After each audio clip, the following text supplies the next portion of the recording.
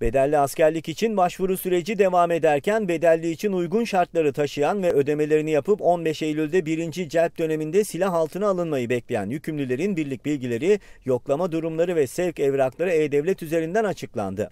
İlk celp döneminde 12 bin asker birliklerine sevk edilecek. İkinci celp döneminde yani 6 Ekim 2018'de silah altına alınacaklar. 6 Eylül 2018 3. dönemde 27 Ekim 2018 ise silah altına alınacaklar için 27 Eylül 2018'de E-Devlet'te ilan edilecek. Tahsil edilen tutarlar Hazine ve Maliye Bakanlığı Merkez Muhasebe Birimi hesabına yatırılacak. Bu tutarları Savunma Sanayi Destekleme Fonu'na aktarmak üzere Hazine ve Maliye Bakanlığı bütçesine ödenek eklemeye Cumhurbaşkanı yetkili olacak.